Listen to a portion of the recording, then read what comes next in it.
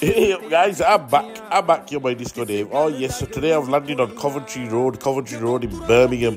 So I got there a bit too early, so we had to do uh, iftari on a Ladypool Road. But then we came here after 10 o'clock. And look at it, it's kicking, it's alive and kicking. Oh yes, I think it starts at 10, it goes all the way to Sehri. Look at Disco Dave eating them donut things. Ah, yo, they sell everything here cakes, mops, barbecues. Look at that hot dog, garam kutte, kutte, kutte, plenty of garam kutte there and uh, they sell all sorts of trainers, t-shirts, job lot.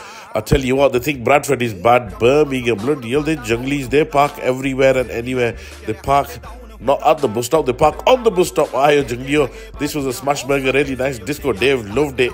Oh yes, it's a decent place. I'm gonna definitely come again. Uh, Coventry Road, Ayo Disco Dave. Look at that. No chippus today. I love chippus. You love chippus. But I'm definitely, has anybody else been? Give me a shout if you've been. Let me know where else is good. Any other places like this. Ciao for now. Love you.